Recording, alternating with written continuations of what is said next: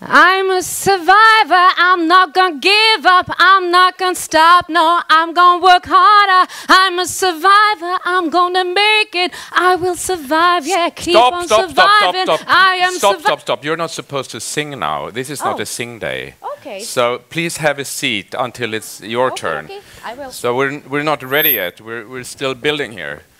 So please wait until we're fixed everything here.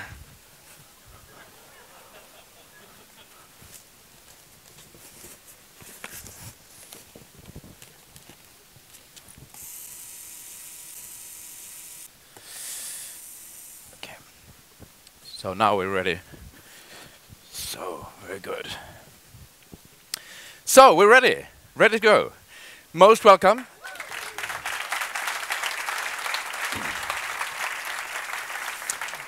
So, most welcome to Sting Day 2013. Uh, this is Sweden's largest meeting place for tech startups and investors. Today we have 90 qualified entrepreneurs here, more than 90 qualified entrepreneurs. We have more than 100 investors. Where else in Europe can you find such a crowd in one room? There's more than one investor per entrepreneur. We also have a record number of international investors and industry representatives. We're really glad that you all are here today and most welcome to all of you. This is an invitation by only event and therefore I would like to mention some of our main event partners. It's Vinnova, it's Tillväxtverket and EIT ICT Labs. So thank you very much for your support. This is our beautiful city. And Stockholm is an attractive place for starting an international growth company. So why is that? A couple of weeks ago, uh, one of the real top venture capital firms from Silicon Valley was here.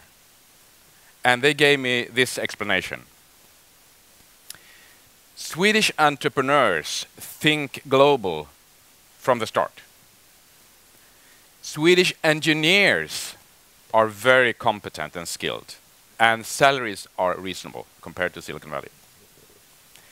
And Swedes in general are used to use new technique and are early adopters. So Sweden is an interesting place for as a test market.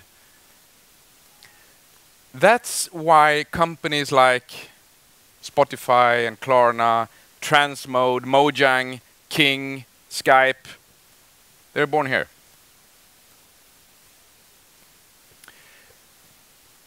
And you entrepreneurs who are here today, um, be brave, uh, think big. You will also make it. We at Sting, we support the building of new companies, so we can, can sort of help with the building in early stages. We started 2002. Um, we have admitted 113 startups to our business accelerator. 80 of them are still living, making progress, with a turnover of 50 million euro last year. The employee growth has been quite good also. Last year, we were almost up to 700 employees in the Sting companies. And as you see, the private investors also like the Sting companies.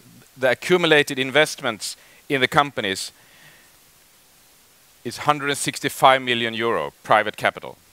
I will give you some examples of four really cool companies that we have helped.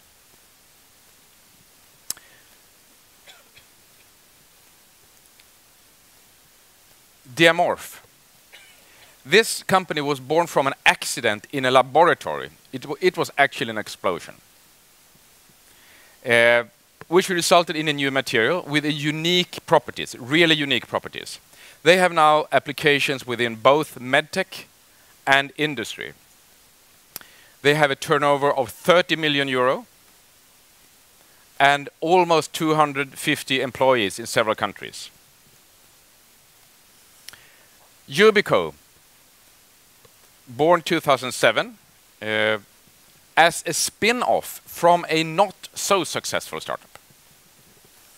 But the devoted entrepreneur, Stina Ehrensvärd, took the company very early to Silicon Valley and have since then had a double-digit revenue growth. And recently, during this winter, she signed a really interesting contract with Google. Midsummer.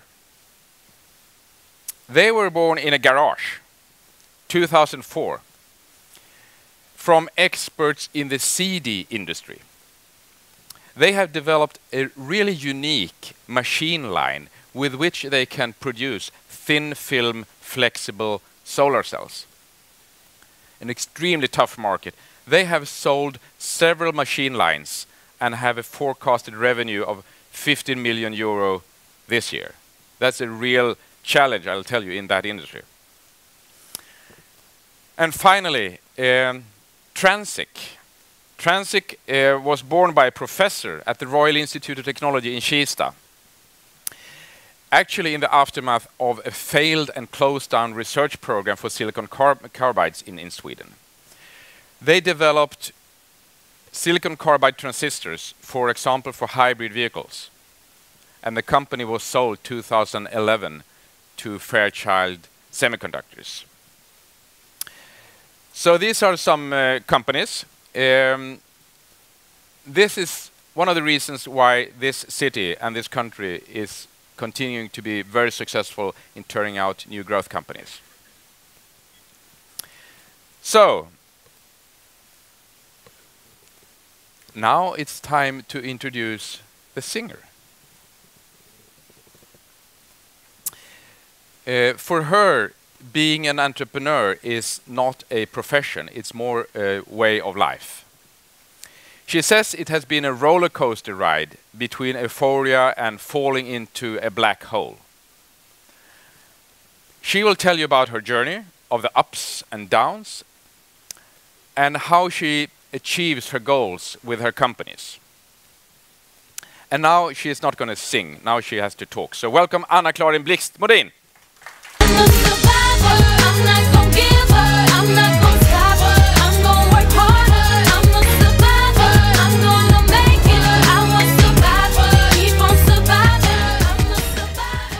Yeah, this is another way to do this song. Uh, hi guys, really nice to see you here. Um, my name is Anna Clara Modin, and I have been working as a singer before. And uh, um, I'm also founder of Stagepool and Ubetoo, two internet companies. Um, at the same time, I was uh, studying at the uh, university, theater science. I uh, really felt I had to follow my dream. And my dream was to become a musical performer. So at the same time I was in university, uh, I uh, started to uh, study musical, and I really, really remember my first lesson there. I had my teacher, and he gave us a little note, uh, and he said, "Well, guys, first day in school. Now you have three minutes. Write your goal on that piece of paper." And I was like looking at this piece of paper, and I was like, "Oh, I don't have a clue." But that was really good because I, then I already knew that I didn't know, so I can do something about it. And it's the same way with goals. There are so many different ways to achieve them.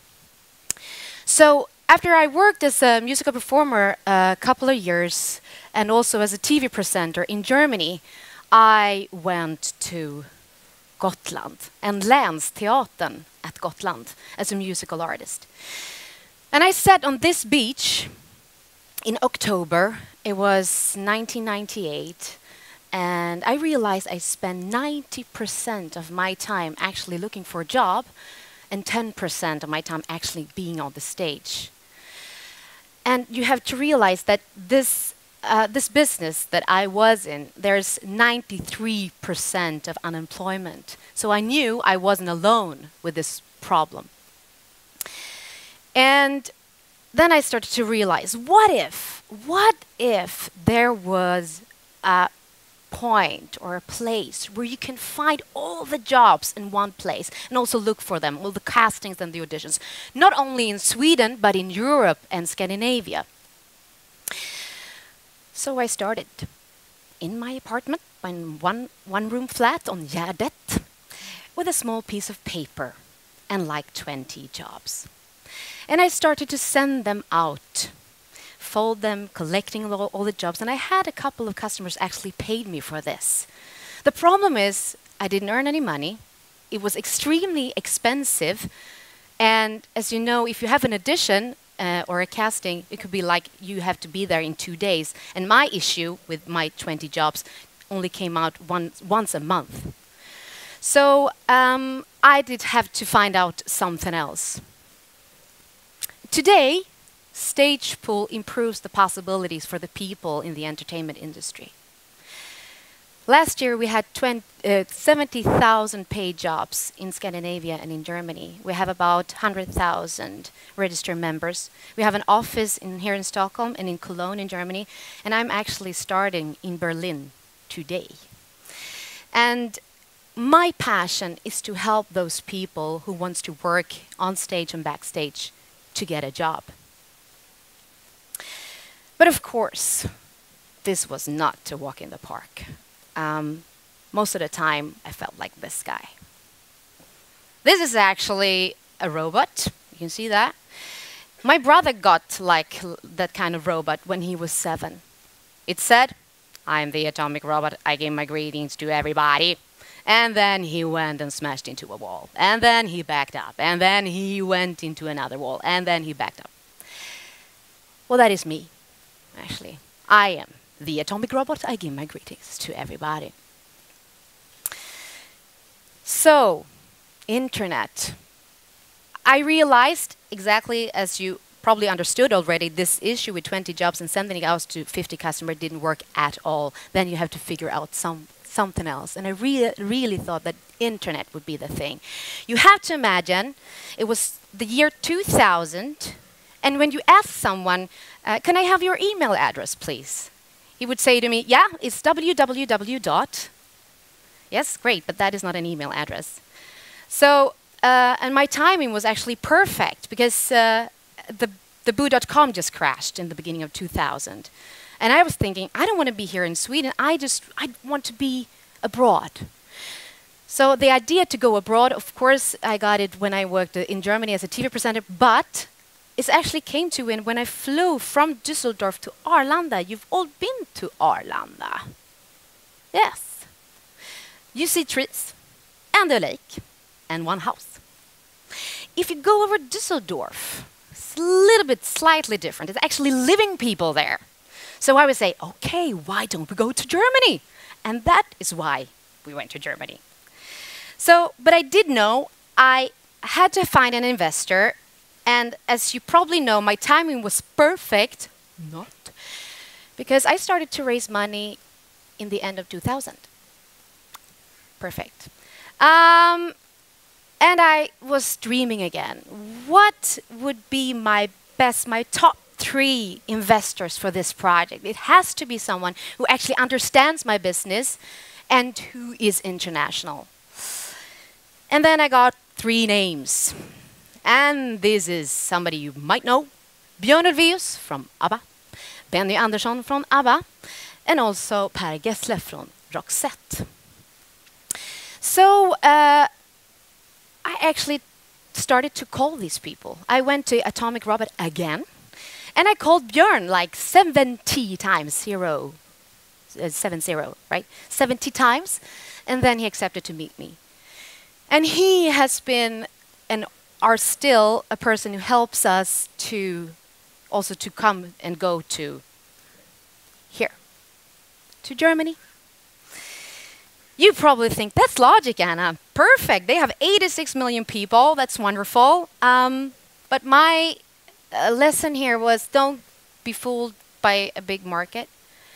Because the only thing I heard, I was going there as a Swedish woman, not speaking very much German, and the only thing I heard was, Anna, das geht nicht.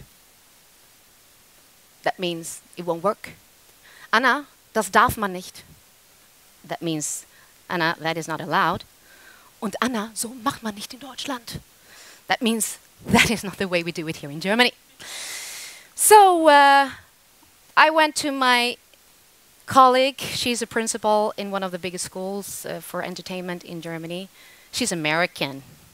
And she said, Well, Anna, they say if you can make it in New York, you can make it everywhere. Well, I say if you can make it in Germany, you can make it everywhere. So if some of you guys are going to Germany, give me a call first.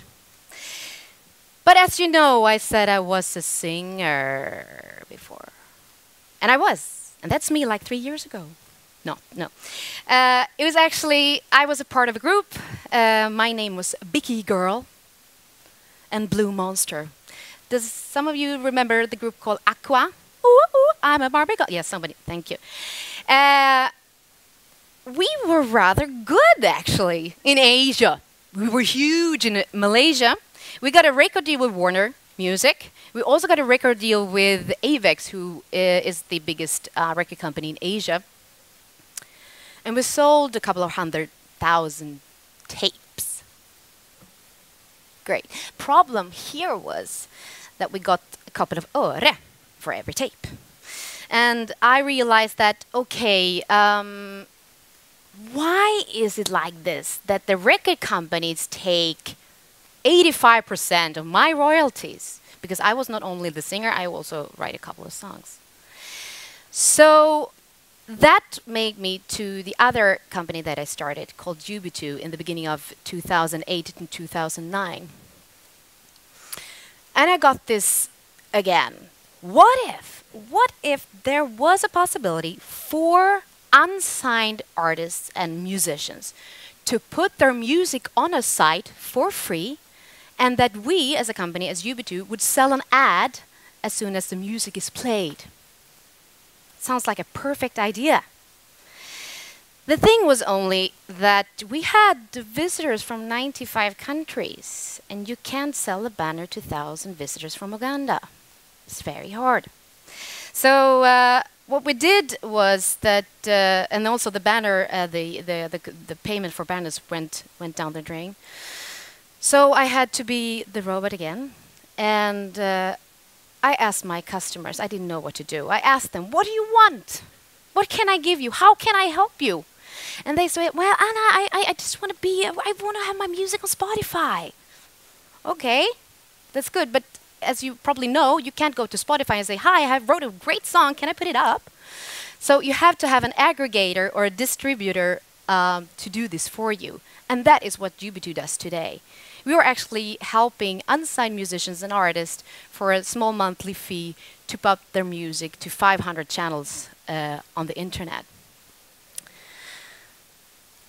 So, what have I learned those past 13 years? Well, I will try to keep it short. Um, you're going to do mistakes. That's no doubt about it. You're going to do them. And somebody very wise told me, well, Anna, it's good if you also can afford to do, do the mistakes. And, and, in my opinion, it's like you can hear from other people, but it's, it is like with, when, when you're doing the things yourself, that is when you really, really learn. So you're going to feel, I certainly I am, like this a couple of times. I am the little girl staring on the road I know where I'm going, but I'm all alone. And um, for me, it's a very, very thin line between being really crazy and really, really goal fo uh, focused and goal oriented. And therefore, I my what, what I do when I feel lost is that I try to ask myself, why am I doing this? Am I having fun? doing this? And if I don't know, perhaps I can ask my customers because they are the ones who pay your salary. What do they want? How can I help them to achieve their goals? And that's why we are here.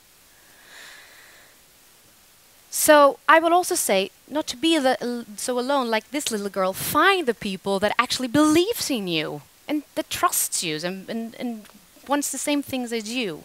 That is one of my best uh, things to say to you guys. So, who survives? Well, Darwin said it's the survival of the fittest. Uh, and I believe, in my opinion, it's the survival of the people who are, who are most adaptive to change. You can do it fast, change with the market, and see other possibilities, other opportunities. So, I just want to say go with your dreams, go with your passion, follow it. And as Churchill once said, everything is possible the impossible just takes a little bit longer. Sky's the limit. Thanks. Please. Thank you, Anna. Thank, you. Thank you. As real entrepreneurs, we would like to give you a gift which helps uh, families in West Africa to start a company. Wonderful. So you'll Thank do you that. so much. Thank you I very much. Do that. Thank you, guys. Thank you. Thank you. Good luck.